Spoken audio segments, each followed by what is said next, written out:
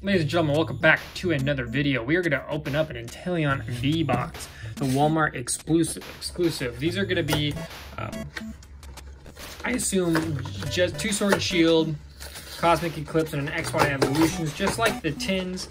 Um, this one also is going to come with a jumbo card, so that'll be fun. Uh, essentially, uh, these series of boxes I purchased um, to film. Obviously, I haven't had a camera going on. We got that jumbo card right there. Uh, and the reason that being is I just haven't really been on top of the... Is there no, uh, there must be no code? Oh no, there's the promo, that's it. There's a code in there. Yeah, there it is.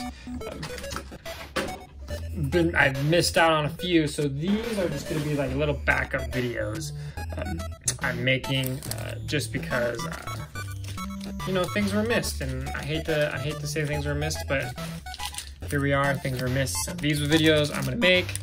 Uh, no face camera. Uh, the next time I film, I will for sure have a face camera.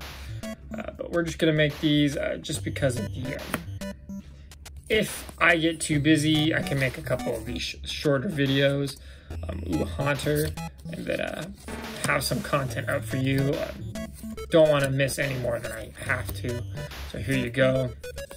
Onix, Nidoran, Poliwag. We got that green energy.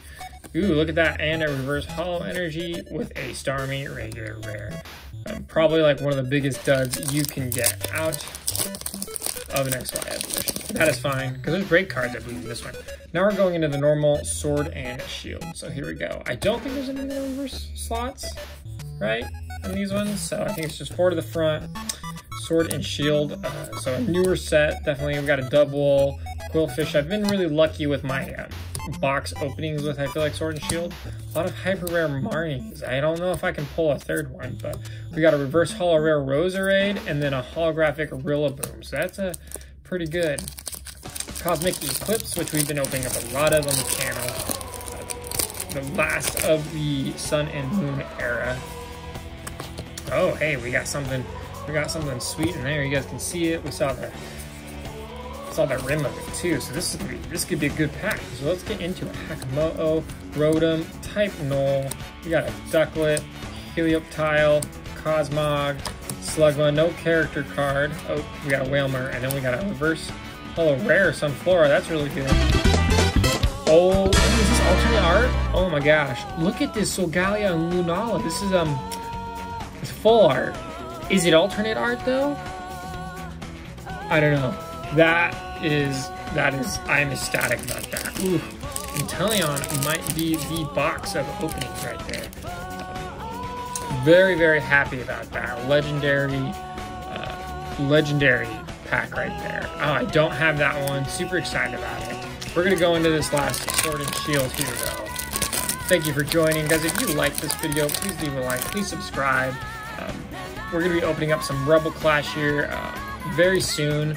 Um, I got a booster box of that. And then, um, you know what? I'm going to go all in for the final hidden... Alright, I'm going to just open all my hidden fates that I haven't opened up left. And I'm just going to open it for you guys here soon as well. I'm trying to find that Charizard. I don't want to give up, but um, hidden fates is becoming pretty difficult to get a hold of now. Um, so we got to try. But here we go. Our last card. Of, ooh, and a Sableye V good ultra rare right there. I do not have this one.